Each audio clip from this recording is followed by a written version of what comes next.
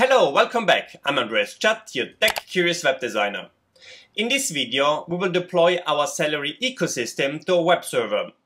This might involve paying for the service, as just using the free tier, at least for me, did not work properly. I am deploying my application to Railway, which offers high performance at a low cost, is easy to set up, and has a great user interface.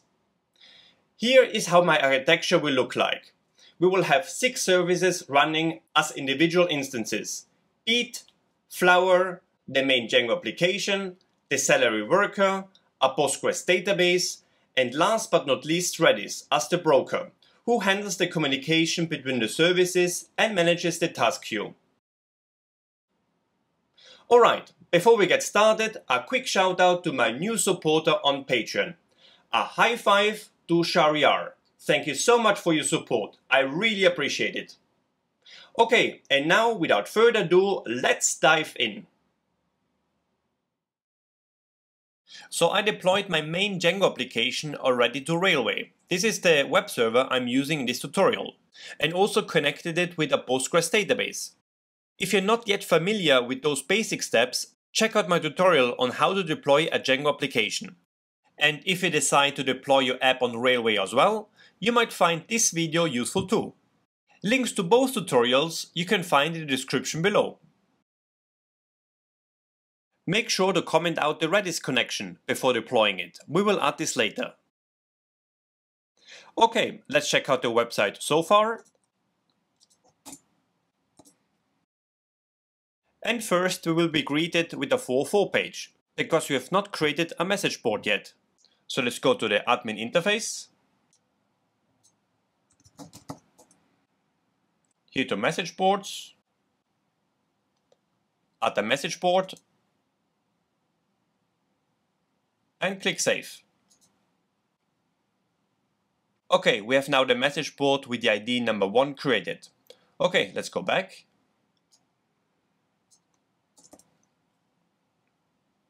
And the message board is now displayed. So let's subscribe. And so far so good. Now let's add a Celery worker to send the email notification when a user posts a new message. So first let me run through my settings.py file here quickly. So I installed here environ to set up my environment variables. Then I declare here the environment. I set the environment variable temporarily to production to migrate to the Postgres database. We have an environment variable for the secret key. Then I'm switching here between debug is true and false depending on the environment. I added the domain to the allowed hosts and the whole URL to the CSRF trusted origins.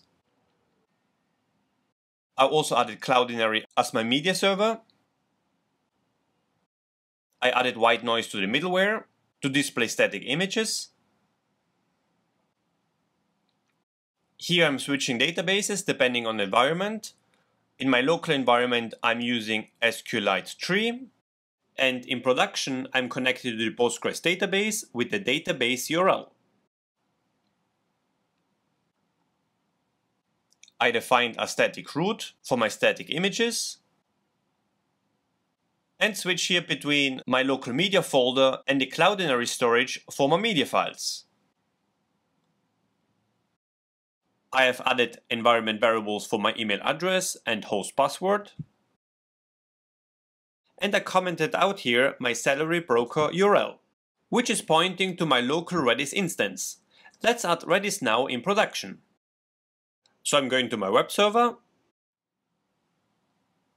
create a new service, so here to database, and add Redis. This will take a few moments to spin up and deploy.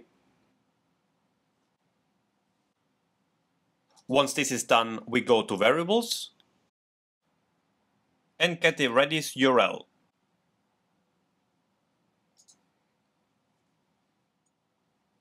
Then we add it to the environment variables. Okay. Now in my settings.py file, I'm switching here between environments So if I am in my local development environment, I'm using the local Redis instance. Else, I'm connecting to the remote Redis instance with the Redis URL. Okay, save this file. And let's push this change to the web server. Add a title, add Redis, commit to main, and push.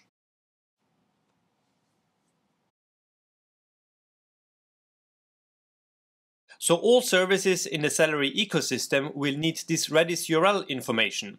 And instead of adding it individually, we can define shared variables on the web server. I'm going to the settings for this project. Here we click on shared variables. To my production environment.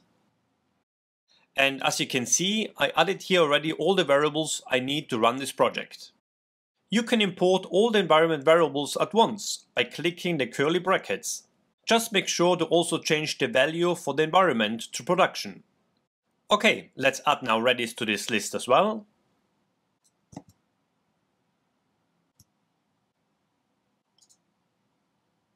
Okay, Redis is now added as well.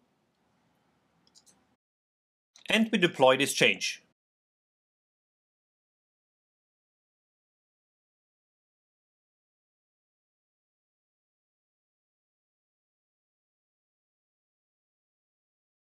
Now that we have added Redis, let's create our Celery worker.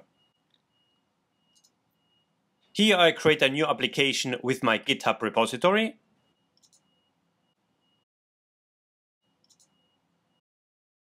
And to run Celery with this service, we need to add the Celery start command. So let's go to settings. We can also rename it to Celery worker And here in the deploy section, we have to add our custom start command. Okay, this is the command to run the Celery worker. And then we also add our environment variables. So here I click shared variables and add all of them to the service. Alright, this application has now access to all the variables. And finally, we deploy the service. Okay, our Celery worker is up and running. Let's do a test. I post a new message. Hello world and enter. But the application failed. After some digging, I realized that the Django application has no Redis URL variable set up. So to add this Redis URL also to our Django application, I click on the Share button here. And here I click on Django. And then Update Variable. Okay. As you can see, all those variables are shared now with two services. And finally, I also have to deploy those changes. Okay, the changes are updated now. Let's go back to our message board and try again.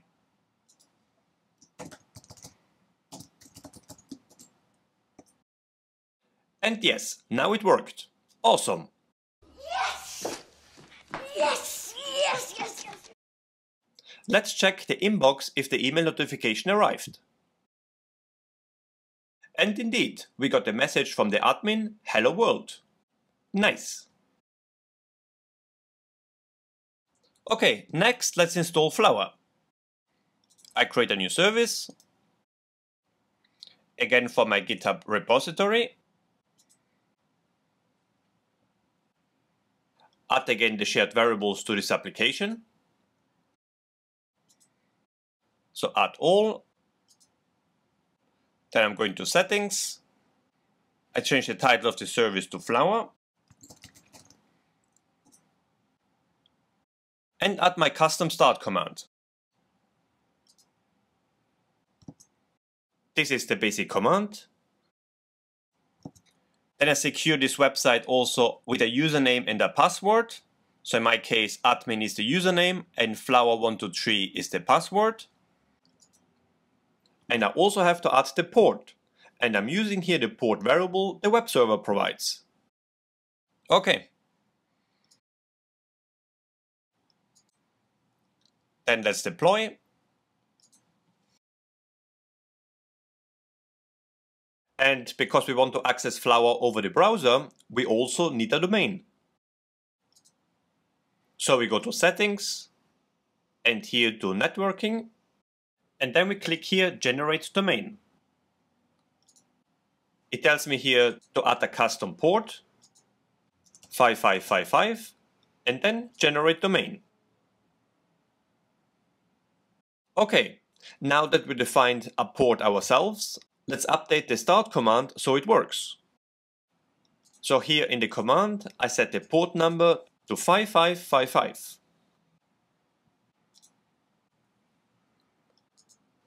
And deploy it again. Okay, let's check out the Flower interface. But we got the application failed yet again. Can you guess what the issue here is?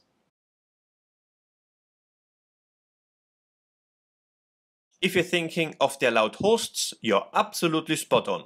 Let's change that in our settings.py file. So the issue is that we hard-coded the allowed host to our main Django application. But this obviously will not work for Flower, which uses a different domain. But Railway can give us the domain dynamically. So I'm creating here a sites domain variable, which will take in the Railway public domain this is a variable Railway provides us. And I also add here a default parameter of blank. Okay, then I add this site domain variable to my allowed hosts. And also to the CSRF trusted origins. With curly braces and convert it into an F string. Okay, Save this file, and now we have to deploy it again.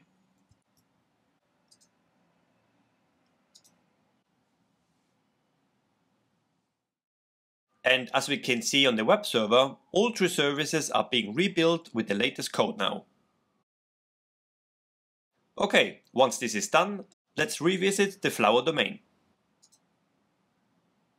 Great, now we can access the page and we're getting the login request window.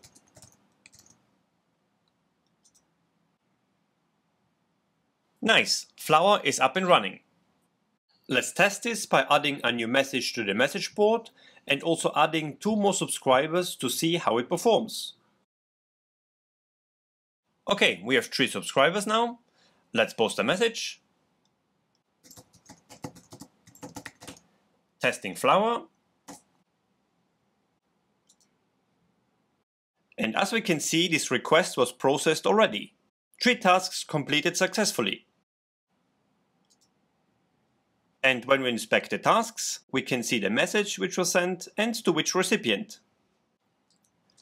And when we look at the runtime, we see it was processed in no time at all.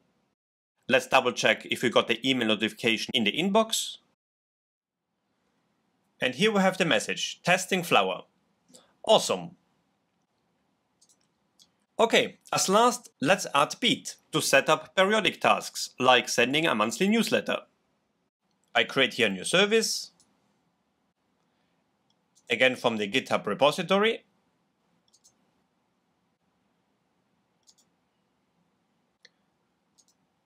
Then I add here again the shared variables, add all. Then in the settings, we add our custom start command.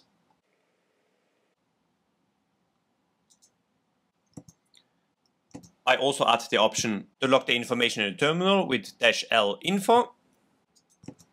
And then I add the scheduler, which is our database scheduler. Okay. And then we can deploy the service. let's also rename the service to Beat.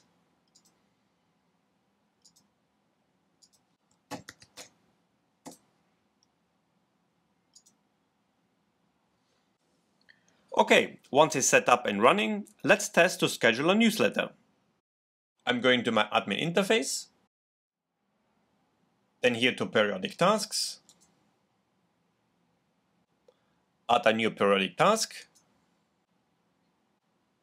add a name, send monthly newsletter,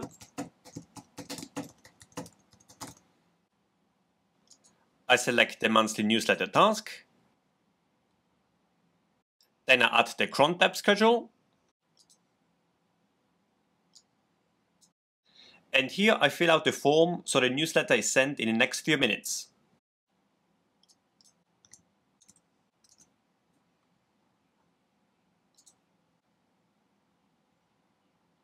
And save.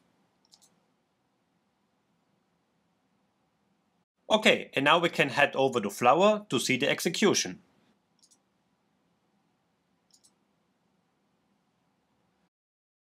Task is active right now and now completed successfully. The June newsletter was sent to three subscribers. Great. And now let's check also the inbox. And there we go. Our newsletter was sent successfully. Awesome. As last, let's inspect the results database, which is set up to be our Postgres database. In my admin interface, I go to task results. And we can inspect here all the tasks which were completed. Nice. Okay, this is how you can deploy a Celery ecosystem to Railway, and it should give you a general overview how the services are deployed to production. Thank you so much for watching and following along this tutorial, and I hope I will see you again very soon. Until then, Stay curious, my friends, and bye bye for now.